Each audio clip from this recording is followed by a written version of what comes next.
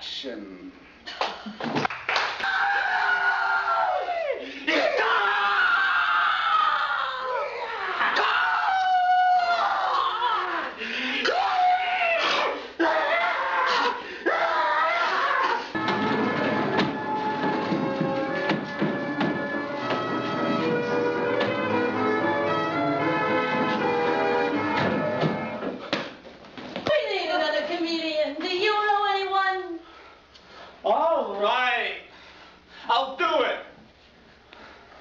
For ten scruples.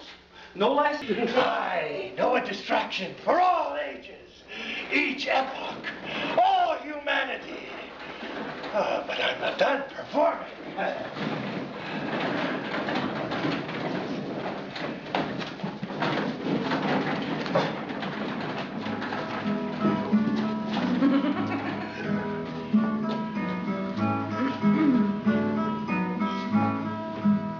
The grain is gone, it's harvest time, there's not a vessel full. The channels are all scuttled, the market bare except for bull. Mid thinks me weeks when spoken to, but no mirrors have I none.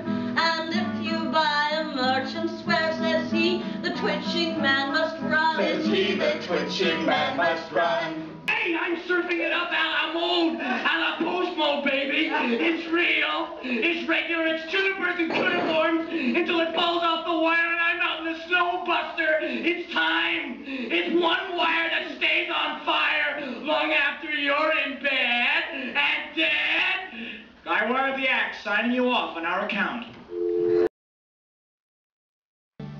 A colorful, playful farce has just opened at the Union Theatre on Dublin Street in Peterborough. The Distraction is written by a local artist and includes such interesting characters as gargoyles and medieval players.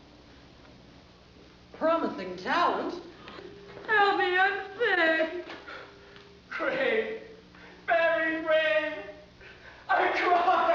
The Distraction is the play in the play that these medieval players are attempting to perform if it weren't for such complications as the plague.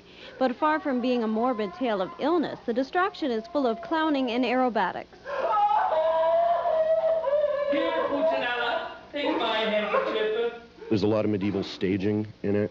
Um, three huge itinerant stages are brought on. There's a carousel.